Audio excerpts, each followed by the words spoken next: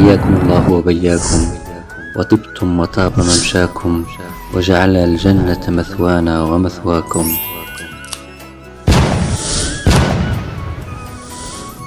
رمضان مع سافر.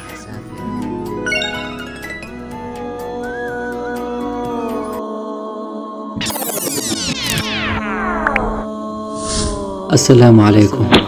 مرحبا بالمتابعين الكرام. نحن في طريقنا إلى قرية الشوكة العملاقة الشهيرة في العالم. أشبه بالخيال. مدينة أسطورية بفنها وتاريخها المميز.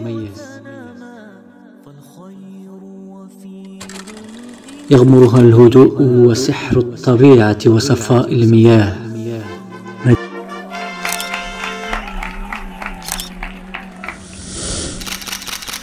مدينة. مدينة عاش واستقر فيها شخصية عالمية. عمل كممثل مسرحي وصانع دمى وامتهن العديد من المهن الأخرى. لكنه لم ييأس قط. ولم يتوانى عن تحقيق حلمه في أن يصبح ممثلا يذكره الصغير قبل الكبير ويبقى راسخا بأعماله في الأذهان.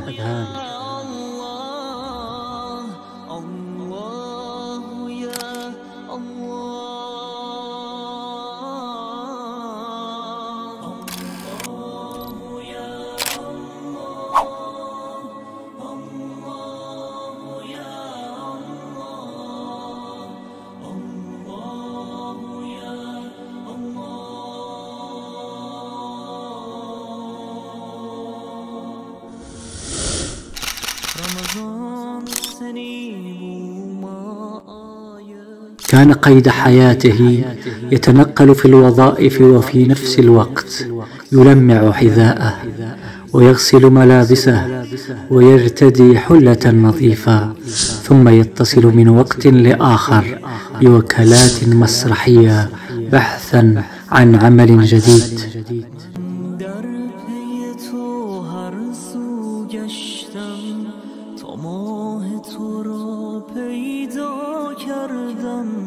هر لحظه صدایی می‌گوید باید که به سمت تو برگردم.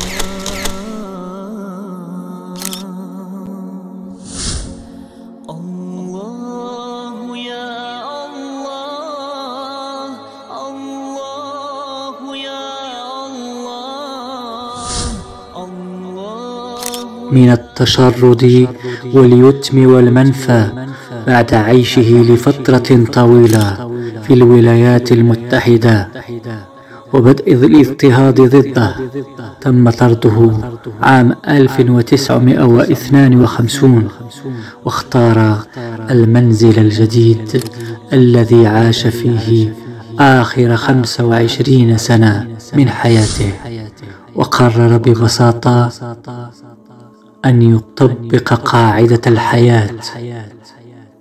هذا الوقت سيمضي. هذا الوقت سيمضي.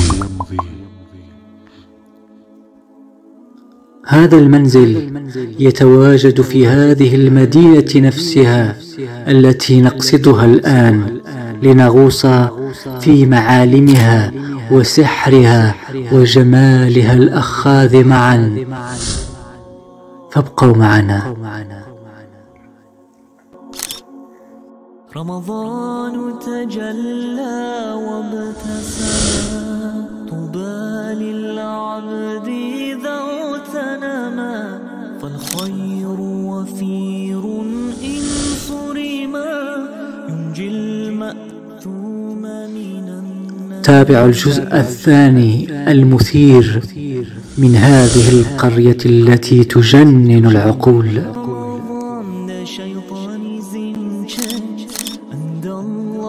mercy forever reigns. The doors of are open